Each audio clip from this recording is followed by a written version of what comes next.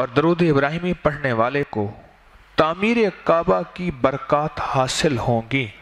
اور درود ابراہیمی پڑھنے والے کو کعبہ کے گرد جو طواف ہو رہا ہوگا، ہوا، اس کی جو برکات ہیں وہ حاصل ہوں گی۔ اور کعبہ میں سب سے زیادہ ثواب، ایک سو بیس نیکیاں ہیں۔ جس میں کعبہ کو دیکھنے والے کو بھی ثواب ہے۔ سب سے زیادہ ثواب طواف کرنے والوں کو ہے۔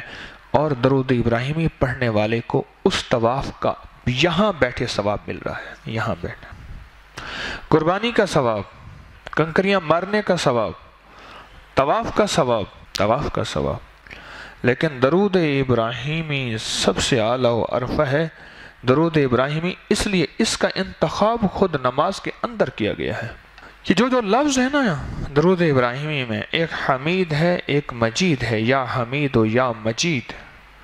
جو بندہ ان لفظوں کو صرف ایک تسبیح ایک تسبیح، اس انداز سے پڑھے، کس انداز سے؟ وہ انداز میں دہرا رہا ہوں۔ اللہم صلی علی محمد وعلا آل محمد کما صلیت علی ابراہیم وعلا آل ابراہیم، انکا حمید مجید۔ جب حمید مجید پہنچے تو پھر اس کو ایک تسبیح پڑھے اور دھیان سے۔ پھر آگے درود شروع کرے اللہم صلی علی محمد کما صلیت علی ابراہیم وعلا آل ابراہیم انکا۔ یعنی درود ابراہیم، حمید اور مجید دو دفعہ آتے ہیں نا؟ دو دفعہ آتے ہیں۔ اس کو پھر ایک تسبیح پڑھے ایک دفعہ درود پڑھے پھر سن لیجیے۔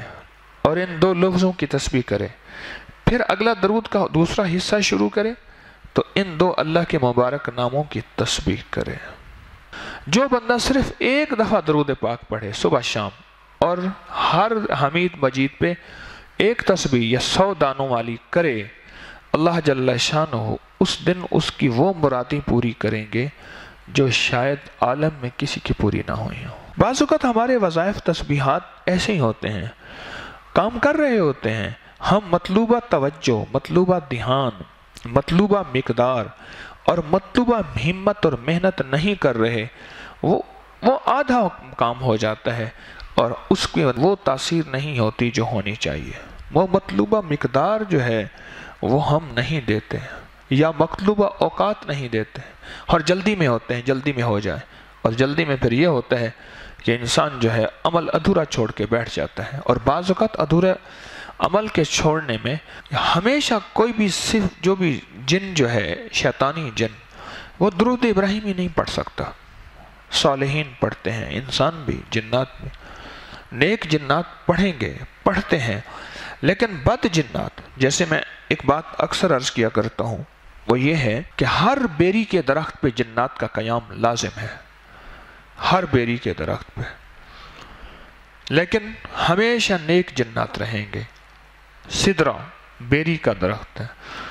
ہمیشہ نیک جنات رہیں گے، بدکار جنات نہیں رہیں گے۔ اسی طرح درود ابراہیمی، کبھی بھی شریر جنات نہیں پڑھ سکیں گے۔